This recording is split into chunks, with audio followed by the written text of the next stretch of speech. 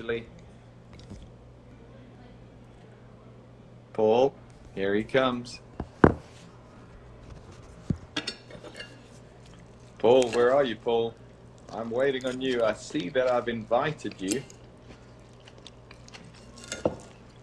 You can do this. Where'd you go, Paul? You're there.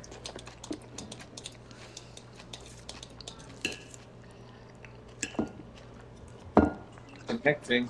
Boom. there he is. Magic. Morning, sunshine. Good How's morning. it going? It's going all right. How are you? Good, good. I know it's a it's a little bit early. You've got your coffee going. Uh, coffee. Thanks for getting up and Adam. Um, Yeah, It certainly is a little different daily schedule, isn't it, Paul? it is. It, yeah, it is. It's managing, uh, working from home and uh, managing the kids. And uh, yeah, their expectations are if I'm home, I'm uh, focused 100% on them. yes, yes. I remember those days. I remember those days. They're good days, but they're not that easy a day. It's fun stuff. Look, I mean, you can see the Arizona sunshine behind me. It could be a lot worse right now. Sure, you know, and, and there are, I, I know um, in, in a lot of big cities all over the world, there are people having a hard time and uh, they're not able to get out and they don't really even have sunshine. And so um, I'm certainly thinking of them and, and uh, it's unprecedented, isn't it?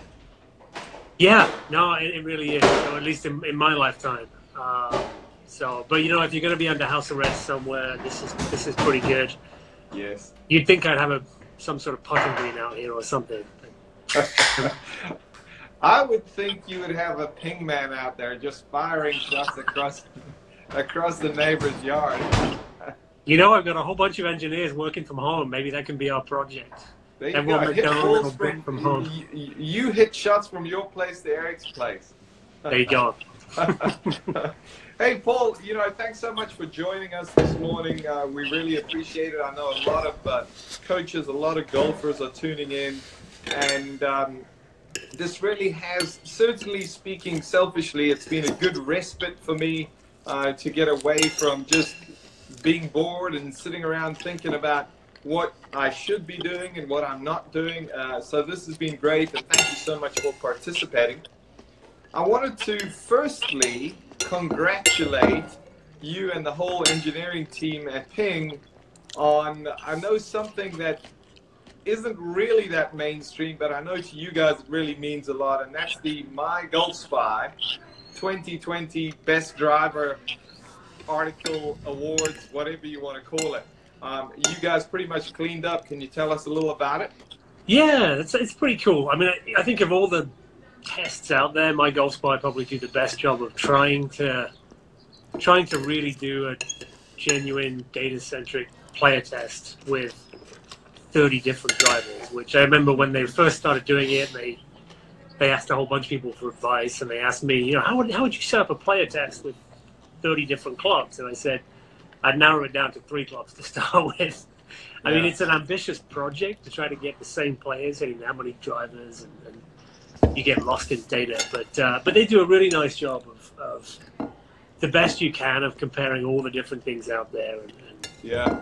I saw that. I saw that this year in the test they hit over fifteen thousand shots.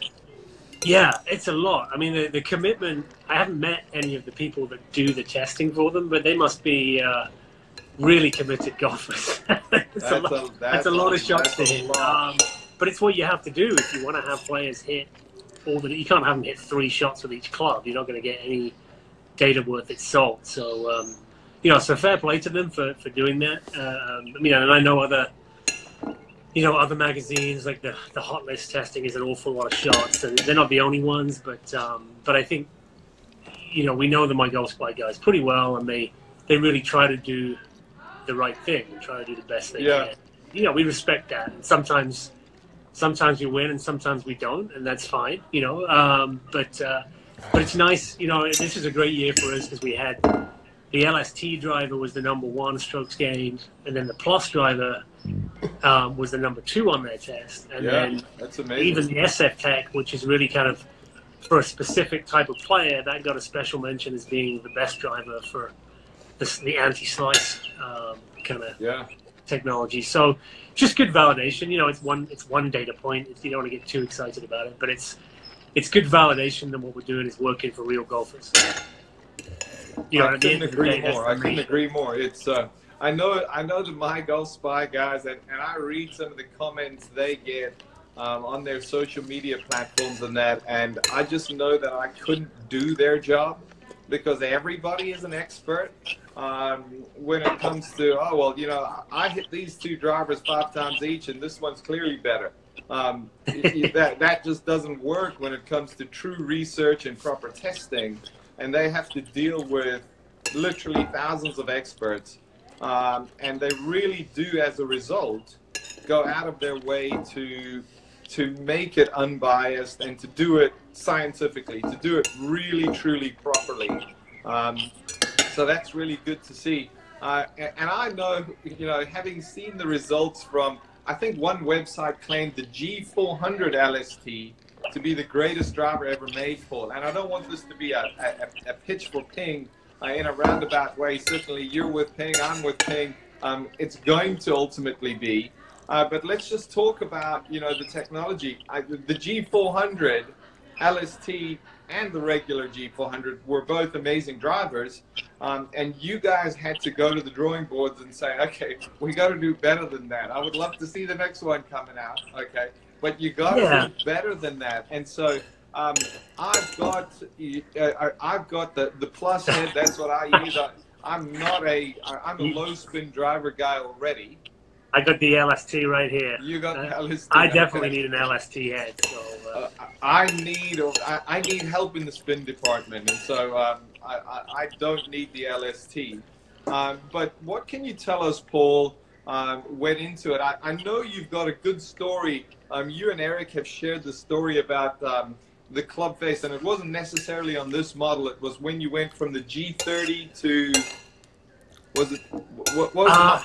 yeah, I'd say it was yeah G30 to G, and actually we just brought it in on the LS Tec model, and then now Okay. we've kind of brought it in across the across the board. So yeah, I mean, there's a, God goodness, there's a whole bunch of stuff that goes into a driver, probably more than any other club. There's there's a lot of technology aimed at anything we can do to help the ball go longer and straighter. Right, one way or another, it has to come back to does it make the does it make the ball go uh, further closer to the hole. Um, Mm, and um, you know, and, and it's a good insight. You mentioned G400 LST was was a little bit of a unicorn. It did so well for us, particularly with the better player.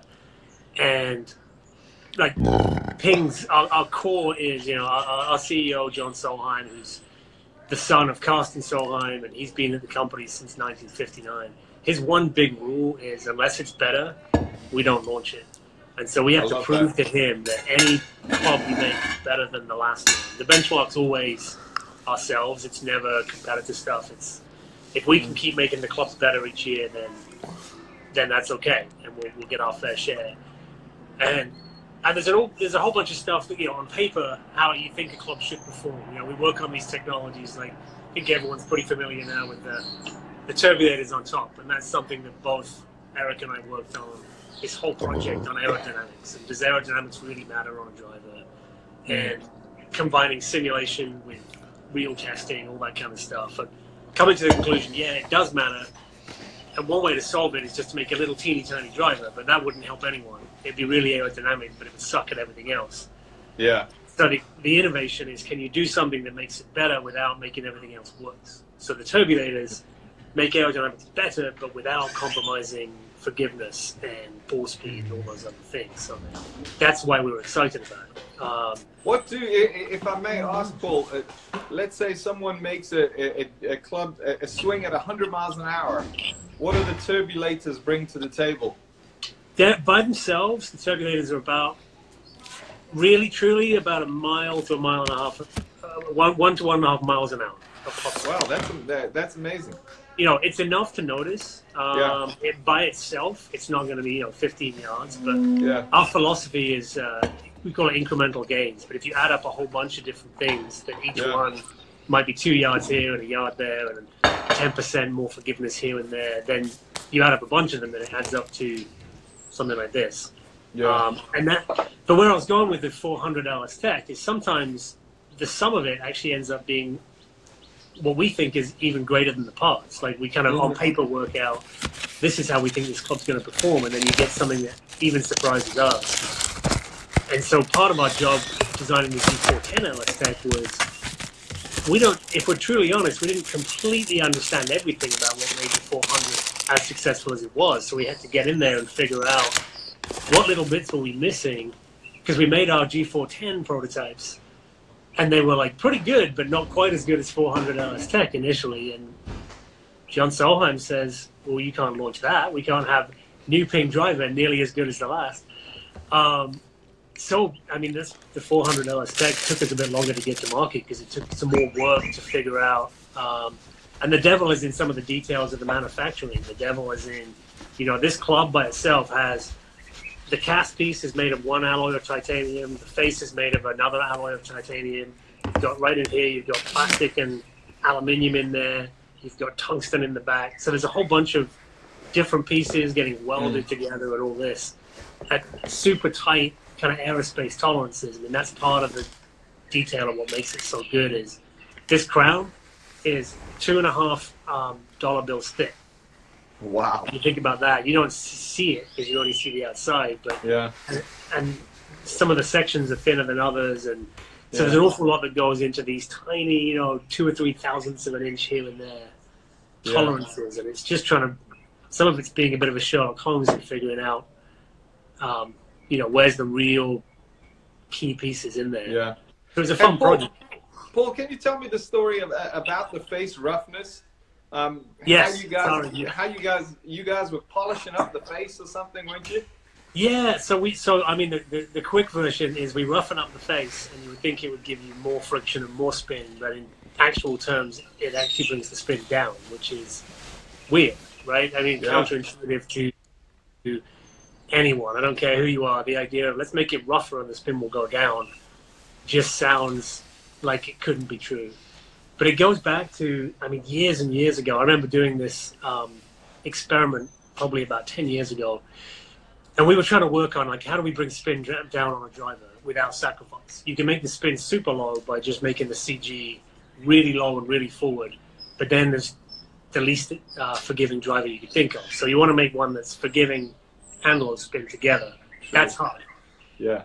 And so I kind of thought at the time, well, how about we smooth up the face? We knew from just having fun on a Friday that if you put chapstick on the face of the driver, you completely kill the spin. So if you yeah. get rid of friction totally, um, you, you, basically get zero spin. So it's a fun game if you want to try it one day. Get a bunch of chapstick, stick it on the face of your driver, and watch the thing just knock a ball. It's it's kind of fun. So it shows you that if there's no friction at all, there's no spin. But it turns out it's way more complicated than just well, the more friction, the more spin. So I tried to make some smooth face drivers and really polish them up nice. Okay, this is going to be fun. This is it looks a little weird, but it's going to hardly spin at all. Put it on our robot, and it spun like a thousand RPM more. And so you go, okay, well, we must have done the test wrong or something, right? Like, do the test again. It must be wrong. Yeah. And it turns out it's repeatable. And at the time, we were kind of like, I don't really understand why, but a smooth face driver spins more. And then we got inspired by some work that the USGA had done. Um, golf equipment guy thanks the USGA for something. That doesn't happen too often. How about that? Um, but they'd started looking into some stuff, and, and, and, there was just this like very throwaway comment about a model that they were looking at, and we kind of dug into it. And Eric and I, mostly Eric, if I'm honest, recreated this model and started to look at the implications of it. And then we looked at some work from a Australian physicist who uh, has done all sorts of stuff on sport and, and how balls react and bounce and things. And anyway, it turns out that friction physics is really interesting when it comes to sports equipment. And the reason is because a golf ball squishes. And so if the golf ball didn't squish and the golf ball was just a kind of more idealized sphere that, that doesn't squish and doesn't kind of have compliance, then this wouldn't be, this would be a non-issue. But you get some fun stuff because the golf ball squishes during impact and then you know unsquishes the mm. highly technical way of putting it and and so when you start to look at the physics of what's going on you can have a higher friction coefficient but less spin because you can basically get you can get grip, which would be kind of the ball like really is what is what it says, gripping the face, or you can get slide where the ball kind of slides right up. So if you think about a wedge on a wet day when you really open up the face, it feels like the club just slides right under the ball. Yeah. Because that's what's happening. The ball is just sliding right off the face and, and never grips. Or you can get during the impact, you can get a little bit of slide and then a bit of grip. And so the quirk of it all, the key to why a driver face spins less when it's rough is it just so happens the ball's on the face long enough that if it grips straight away for the whole impact, during the second half of the impact, it actually starts to like vibrate back the other way, kind of vibrates and then vibrates back the other way. So the spin's going up, going up, going up during this grip phase, and then it starts to go the other way as the ball kind of vibrates away. Whereas if you get slide and then grip, it doesn't have time to do that, and it spins um, more. Oh, that's interesting. So the rough face, where it spin, where it grips the whole way, spins less. A normal face spins more, and then if you go totally extreme, where it never grips at all, like chapstick, it spins less again. So it's kind of wild, and it it Yeah. happens to be a property of, of this little guy. That that slip and grip actually gives you uh, the most amount of spin. Yeah, and so on a wedge, it's the opposite because a wedge, if you if you're not careful, you just get slipped the whole way, so you don't get much. You still get a little spin, but you don't get much. Yeah. That's the flyer. And what you want with a wedge is to get it. To, it always slides a bit because it's such a, an angled impact. So what you want is to get it to grip as quick as possible. So the more friction you can throw at it with a wedge, the more spin you'll get. Okay. Okay. So the same thing you do for a wedge does the opposite on a driver. Kind of fun, It's it's kind of crazy. Yeah. Yeah. but it's Um, repeatable. Um, Yeah, yeah, which means it's real. It's a real thing. Um, Paul, the, the the weight of this. Have you guys found? I know um, the GLE line that you guys make is a little lighter. Um, Yeah. Have you guys found pretty much an optimal weight across the board for golfers um, as it pertains to driver heads? Without giving too much away. Yeah, I mean, so the reality is there's no the the true reality is probably there's a there probably would be a way to optimize the ideal weight for every individual. Uh, in, in a practical sense, it's kind of hard to do that. So you sort of try to group things together and, and, and try to look at. I I, I would call it. Whoa! Oh, sorry. there goes the phone. I got excited with my hands. Um, I would call it cluster uh, clustering. So if there's a million golfers out there, you try to like put them in sort of buckets of okay, these people this weight will work pretty well for, and these people. And so you know, for the GLE, the ladies product, we specifically look at those people, their biomechanics, their you know, just the strength, the muscles, all that kind of stuff, and do some optimizations for them. Even within our 410 line, there's actually a slightly different swing weight for the LS Tec driver, for the regular driver, and then for the SF Tec, just to kind of, Oh, it's not a difference, but part of it's optimizing overall weight, part of it's just the swing weight can also help with how easy it is to square the club up. So as you go lighter, it actually gets easier to square the club up.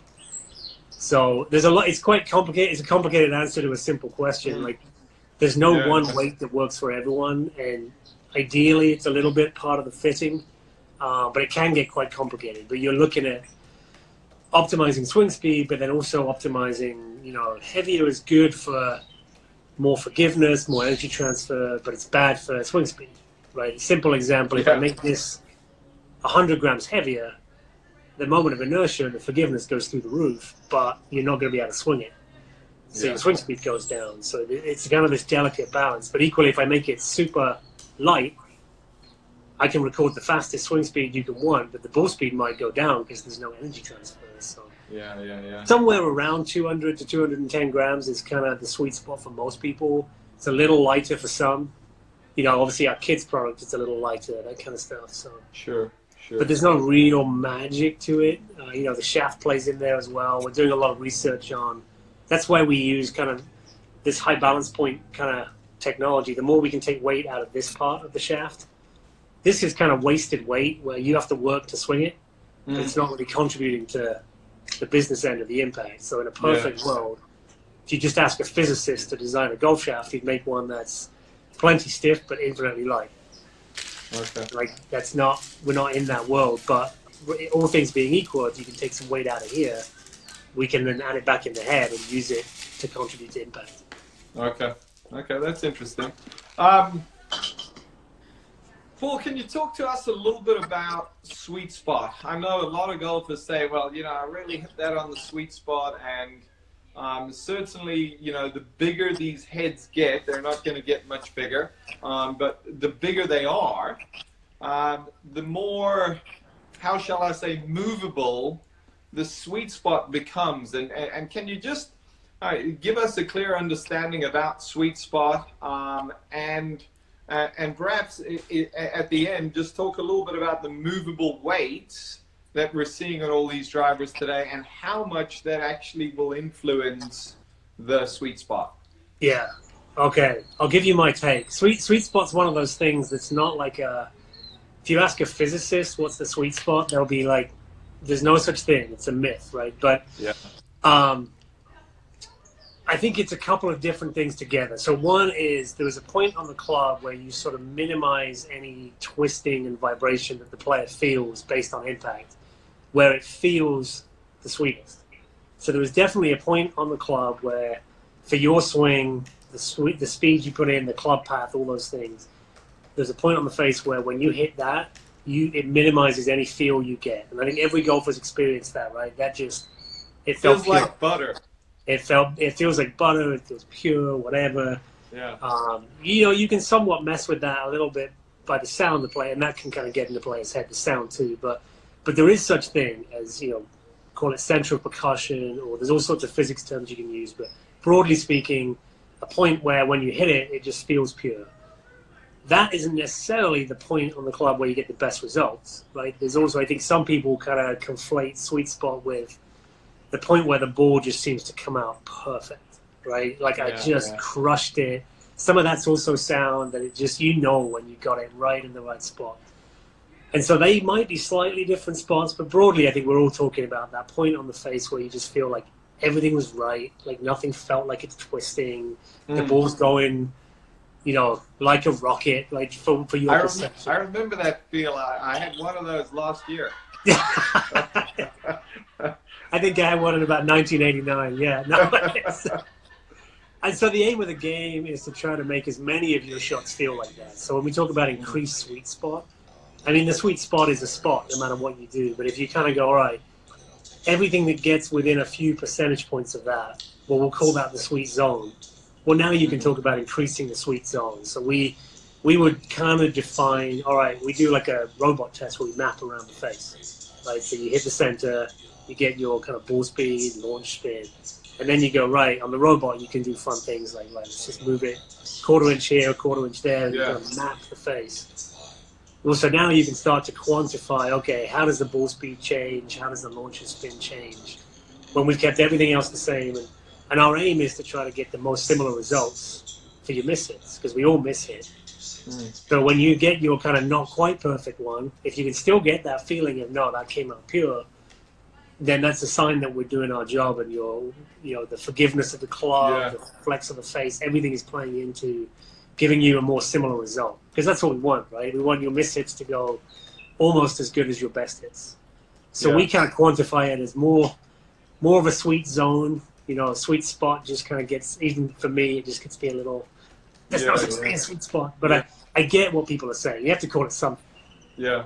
Um, and, and then as regards the way yeah. you know, part of the deal with the weight, right? Obviously, what you're doing with a weight, any movable weights, whether it's you know heel and toe, ours is a channel that you know you move the weight. The reason it's back here is because this is kind of where you want to put the weight. Like this is where it maximizes forgiveness. But as soon as I take it from the middle to the heel or toe, I've moved the center of mass of the club. I've moved the sweet spot a little bit to the heel or toe. And if you want to make a driver a little more fade biased, you put the sweet spot a little bit up to the toe. If you want to make it a little bit uh, draw bias, you put it a little bit to the heel. You don't want to go extreme, but just enough that when you when you make your swing, now you deliver it just a little more closed, and you get a little bit of that kind of gear, favorable gear effect. Yeah. Um, it's a bit of both. Okay. So, so we try not to go too extreme. Moving the moving the weight on the back of that 410 Um, you know, I look at it and it's like, wow, I'm moving this weight, you know, two inches. Um, how much would that move effectively move that that point? Yeah, probably less than you think. About a tenth of an inch. A tenth So of an inch. Okay. It does not take much. It does not. I mean, if you think this, this weighs 200 grams, right, and you're taking Yeah. just a portion of it and moving it, right? if That's this true. was a 100 gram weight, you wouldn't have to move it as far. This is more like a, I don't know, like a 15 gram weight or something like that. So you're taking a small percentage of the club and moving it. Uh, but yeah, that's all you need. Like a tenth of an inch is all we're talking here. And that's 10 yards of ball flight left and right. Wow, that's interesting. And that's a good rule of thumb. A tenth of an inch is about 10 yards of ball flight. Wow. Um, okay, Paul, a, a little bit of a different topic here. I know um, I get to talk to you guys and hang out with you guys uh, not often enough, but fairly often, more often than most. And I know you really are looking almost beyond engineering. How can, yes, how can we design the best club head in golf? But what are golfers doing with that club head and how can we perhaps fit golfers better into the appropriate club head and how can we give golfers a sense of well yes you're hitting off of a mat on a range in a fitting environment versus going out and playing and how can you do that and you guys over the last few years and and we've spoken about it quite a bit are working towards coming up with better fitting protocols so that they more closely match what golfers are experiencing and going through and dealing with out on the golf course. And and so you've you've started to do some work with the guys at Game Like Training GLT. And can you tell us a little bit about that relationship? Yeah, I, yeah, well, so the, so the, I mean, I think you summarized it pretty well. Like the, as a scientist, you try to, when you try to test things, you try to like take out variables. So like a robot test is like the scientist's dream of you take out all the variables and we just change one thing and we have a very controlled swing and we see what happens, which is great for certain things. But like robots don't play golf, humans play golf, right? Yeah. And so on the other end of the scale, to an extent, the ideal golfer's thing of knowing if, if what you're doing is working is just watch people play golf and then kind of record what happens. And it's a lot messier, but it, it's real life, right? And so the, what you're trying to do is control things enough to get good data and know that what we're testing is what we want to test. But on the other hand, it has to be real golf. If you take out too much of the real golf, you know what you're testing is is not doesn't translate to the course. So Sure. And, and, nowhere is that more apparent than I think some of the field clubs. Your putting, wedges, I'd say, you know, looking at kind of blade irons too, we found some of the similar stuff. And so, I, you know, I'm always looking out there for how's, is there a way we can do this? And when I started chatting to the, the game like training guys, it seemed like that they're trying to do it from the practice side of like you're trying to make your practice more realistic, like More rather than stand there and hit 57 irons in a row, which has its place for skill development and all that. But you know, putting someone under pressure so that when they're practicing, so you get one go at this. You don't get to if you screw it up, you don't get to have another go and rake it and hit Mm. another. Yeah. It occurred to me that we could apply the same thing in, in testing of trying to set up a more realistic scenario, basically get less data, but make every shot count more. Um, and, and so that's been kind of the the chat we've had with them, particularly on putters and wedges, is setting up a test.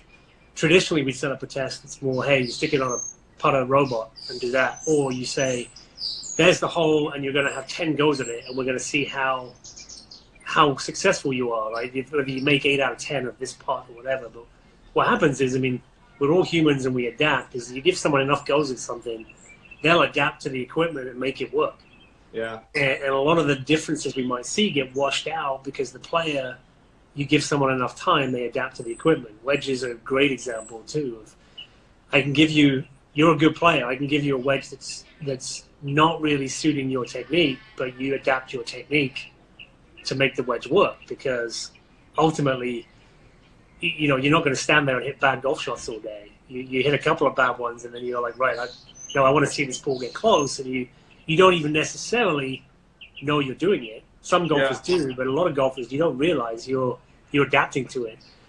So that's been a really fun kind of experiment, and and, and you know, with wedges, we've had some really good success at trying to get closer to the course. Still make it a controlled test, so we know exactly what conditions we're testing from. We kind of prescribe it, but you make it much more. Actually, we did one at your course, and it was really kind of fun, right? And yeah, and it, it actually is way more fun than just standing on the range and, and hitting wedges. But ah, uh, yeah. you know, we have this relationship now with Arccos where we see, you know, these are the little. If anyone doesn't know, the little sensors on the end of the club that basically track where you go on a golf course, and you can. For the golfer, it's amazing to see where do I really go? Where do I really miss? How far do I really hit my club? You know, that's quite enlightening for mm. golfers. For us, when you see it as a totality of like, okay, here's six million shots. Well, okay, let's look at all the 58 degree wedges that anyone in the world is hitting. Where are they? And it turns out you're way, way, way more likely to be hitting like little chip shots out of the rough than you are full swings out of the fairway. And yet, full swings out of the fairway are much easier to test, and you get yeah. So we tended to do more testing on the kind of half to full swings, and then you're looking at the data going, man, 20 to 40 yards is the sweet spot. And it's mostly out of the rough. It's not, when you miss greens, you don't miss on the fairway too often. I mean, sometimes. Yeah. But, so the Arccos data would suggest you're four times more likely to be out of the rough than out of the fairway when you're hitting wedges. So we set up our little te- GLT test, you know, work um, to hit more out of the rough, maybe a couple out of the fairway, a couple out of the bunker and what you find is you can see some pretty clear differences between clubs pretty quickly.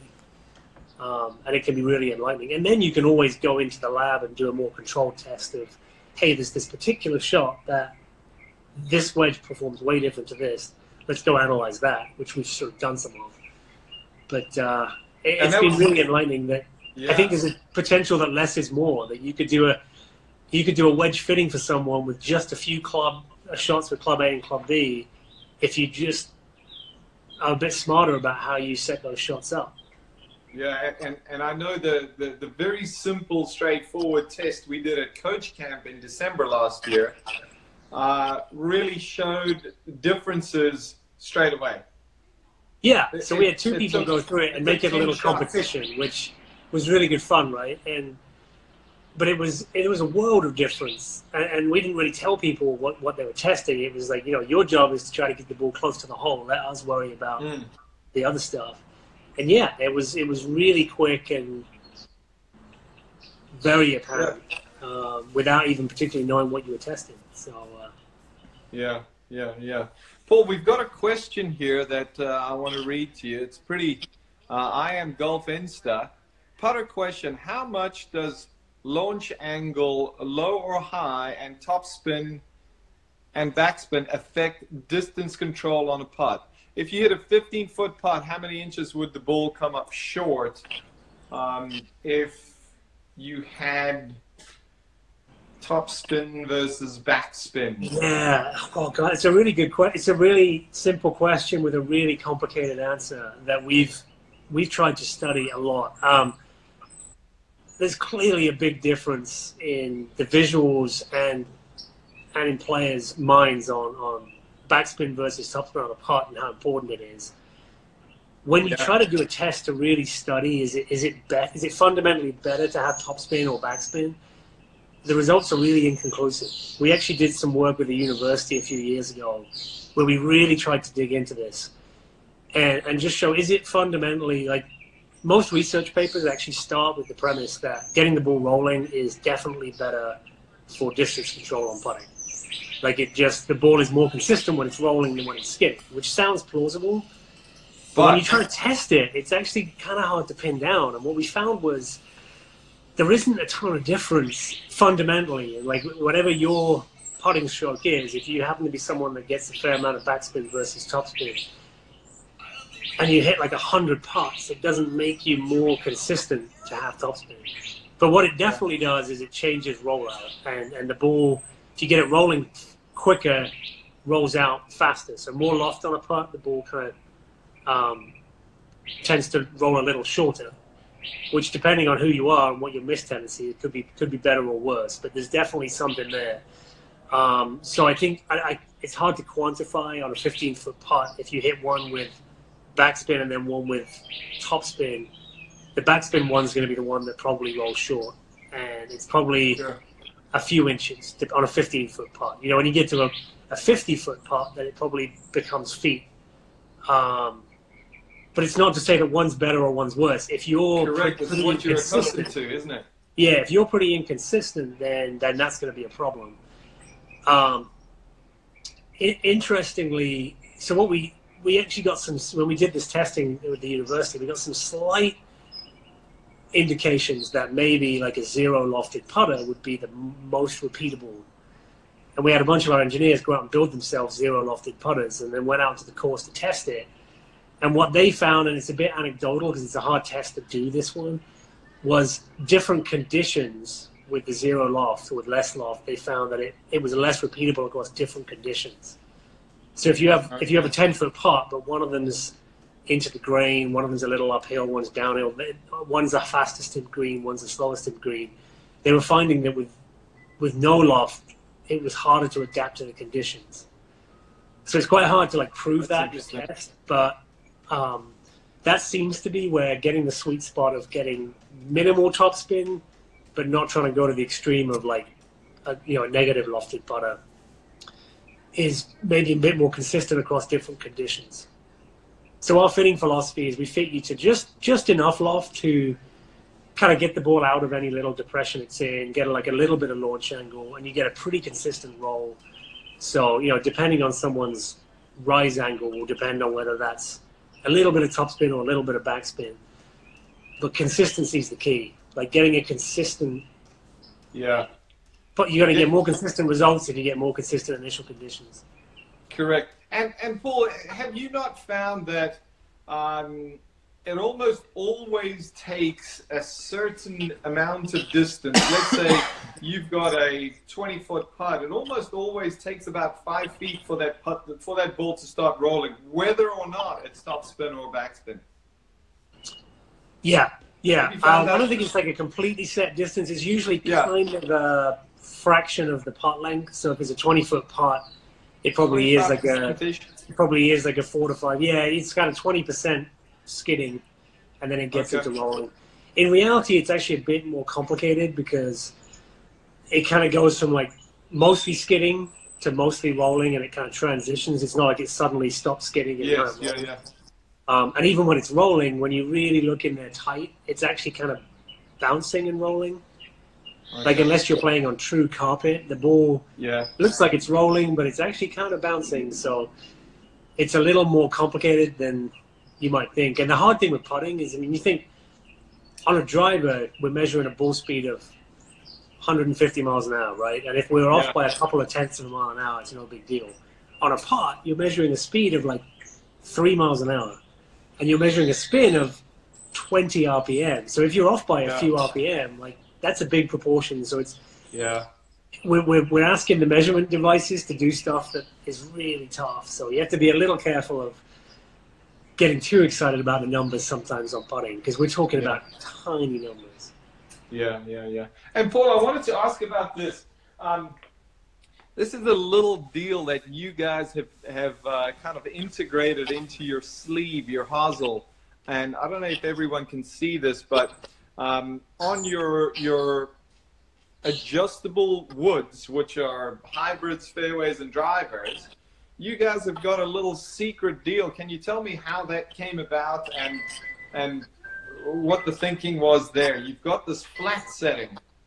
Yeah, the, the, the secret settings. Um, the challenge the challenge is always trying to balance uh, features with simplicity, right? So we want it to be simple, but the, but you also want to give people features. So the reality is with with the with the hosel, you're basically you're basically tilting the shaft slightly in the head, right? That's yeah. what it does. Yeah. And then you can rotate that to give you different settings. So there's no, you're basically, as you rotate this hosel, you're just, you're going from the shaft being, you know, flat to the shaft being more high loft to the shaft being upright to the shaft being less loft. There's no true zero setting. You're going around the outside of a circle. Gotcha. But explaining to everyone that when you've got eight positions is, well, this one changes loft by this much, and lie angle by that much. This one changes loft by this much and lie angle by that. Yeah. We figured that for the mass market would probably be a little confusing. So we made the story focus on look, it's just loft. So what you see on the outside of the hosel is there's a zero setting for loft. Then you've got like a little plus, a big plus, like everyone can figure out what that Yeah. means, a little minus and a big minus. And then we just leave the other settings blank, the ones that are kind of around the back side. Yes. In reality, your settings really are most upright, but neutral loft. Then you go around to, you know, more loft but neutral lie. Then you go around to neutral loft but flat, and back round to now less loft than neutral lie. So what we did was we put them on the inside. That for the folks in the know, for the power fitters, for people who are really into this stuff, it does tell you which settings are the flat ones. But it, for Yeah. most people, they can just kind of ignore that and never, never worry Yeah. about it. So, not trying to treat people as dumb, but just kind of it's a complicated. If I could kind of get everyone on Instagram Live and give them a five-minute video on it, great. But Yeah. that's not the reality. So, keep it simple for most people. That it's just a lost story, but you've got this kind of secret settings of the flat ones. And, and to be honest, it's mostly the the golfers who are really into their games. A lot of the better players. A lot Yeah. who who want those flat settings, and, and Yeah. particularly, I think particularly on the hybrids, that's been really useful. Some people definitely suffer with like hybrids going left, and the flat settings help with that. Yeah. Um, you know, and that applies to driver and fairway too. But yeah, it's nice to have those options in the back pocket. Yeah. I, I, I'll, always remember one time I was doing a presentation for uh, PGA of Sweden, and there was about 220 pros in the room, and I said, "Can I just take a quick poll of the room? Uh, who in the room struggles with fading or slicing their fairways and hybrids?" One person put their hand up. I said, "Who in the room struggles with hooking their fairways and hybrids?" 200 people put their hands up um, it was really amazing. Obviously, you know, most of them are better players, but I see players of every caliber struggle with hooking fairways and hybrids, and I love that new flat setting just because um, it's going to change that face angle and it's going to get that ball to do less of that. Yeah. Very cool. I did see one of the questions was how flat can we go with the driver. So for us, it's three degrees. So from the most upright to the most flat is three degrees. Yeah, yeah. Um, that's uh, that, that's a good point. Um, Paul, I also wanted to just for a few minutes here touch uh, on this. You guys have, and you mentioned this. You you've uh, affiliated with Arccos. I believe the 710s and uh, 410 irons. If you buy a set of those, they come standard with Arccos grips in there. Why did you align with Arccos? Because data is great, Andrew. Yeah, yeah. it This really is like my dream come true. Is like let's get data on everyone. Um, I, I think you know our, our president John K. Solheim um, kind of uh, got into the Arccos a few years ago and kind of came back to us. Hey, there's this new thing out there. I really like it. I think it's going to be the future of golf. So we developed a bit of a relationship with them of just, hey, what are you guys doing? Let's test it out. Like we're we're very much a test first, and then then let's talk kind of company and Mm. and you know, and then they're not the only people in the world doing something like this, but they do it really well, and they've got a commitment to making the data as good as they possibly can, and and, and using it to play your best. I mean, ultimately, that's our company motto, right? Is play your best. Um, with club equipment, it's if this doesn't somehow help you play your best, then it's not part of what we're doing. The Arccos, I think, you know, people understanding what do they really do on the course and how do they use that data to help them play their best is is some pretty low hanging fruit. I mean, even amongst our staff, just yeah, even amongst the guys who kind of know what they do, but they've been sort of willingly turning a blind eye to it. And then when you see the data hit you in the face, you're kind of oh, like, yeah, really, all right, okay, maybe I don't hit the four iron as well as I think I do. You know, yeah, whatever that is, um, it, you know, so it's it's huge for the. We just think it's something that is valuable to all golfers. You know, whether whether it's you know whether you're kind of the weekend warrior or tour player. I mean, obviously all tour players have this with ShotLink. Like that's what Yeah. ShotLink does. What Arccos does, it tells you where you're going on the golf course. yeah, Um, so we kind of, if you're a serious golfer, I think it's almost a must. Like, why would you not want to have something like this? And um, you, you know really tell you how far you hit irons, what do you do in different conditions. For us, I think there could be a big fitting element to it. So if we know what you're doing on the golf course, now you come in for a club fitting. Well, based on what you've been doing, it's a lot better than asking you, "Hey, you playing a fade right now?" You, well, let's see where your misses are. We can really see what we can help you with. Yeah. And then on the other end of it, we just set, we've just fit you for some clubs. Now you go out and use them. Are they working? You know, that's the the last point of the fitting is, did they do what we thought they would? Yeah. And if not, we've got some changes we could make. We might be able to even recommend, you know, hey, you might want to change your hosel setting. yeah. You might want to, Yeah, you know, yeah. Um, so I think there's an awful lot we can do. Um, like I mentioned before, I have access to all the data now. I've got millions of shots I can look through, and it's it's fantastic. And you see the the real populations and what do most golfers do? Where do they miss? What do they, you know, Yeah. where can we help them out more? So that's That- why. that's, uh, that that data is really so cool, and I know um, as someone who's I, I've played 11 rounds with my Arccos, uh, my Arccos um, sensors now, and it is enlightening. If someone were to come to me and say, Andrew, what's the simplest way for me to cut four strokes off my game? I'd say, get some kind of statistics going that are accurate, that are real, that are uh, have nothing to do with emotion or ego, and uh, let's see what they have to say and practice based on that. Practice based off of that. You guys are designing clubs based off of that, so that's that's really cool. Uh, Paul, I wanted to ask this: What is Ping as a company, if I may ask? What is Ping as a company doing to be ready for when we get back to normal? Oh man, uh, yeah, it's such a tough question. Where If we can even think about that. Yeah, I mean it's it's hard. I mean we you know I don't know if everyone knows this or not, but you know so we're we've made the decision to kind of like shut things down for April. I mean it's an easy decision. The Arizona's Yeah. pretty well shut down. Um, you know a lot of the golf industry is pretty well shut down. Um, eh, So so we're going to spend April um, somewhat in hibernation mode to be honest, but but our engineers and our executive team are really working on yeah what what can we do now that'll put us in good stead for the summer and beyond? Um, so we're still working on some of our product development, our innovation stuff. It's actually maybe a great opportunity to dream a little bit and collaborate. Yeah. Um, but we're kind of making plans A through about G right now. Of we don't know. You know, it, it's hard to plan Sure. more than about a week ahead. Um, Yeah. it's it seems like forever, but it's what three weeks since they were playing the players. Oh my. And it seems like gosh. it's you know it's been the longest march in history, right? But and April is going to be longer. But so we're making never plans been based leading on- for this long. I think you have to assume that it's not just April, right? But May and June is going to be not normal, and, and the whole year is Yeah. going to be normal. So, so we're making all sorts of plans of, okay, in a not normal world, what does that look like? Do we do a little more engaging with people through things like the internet, through through phone, and can we, you know, can we look at how to use technology more on things?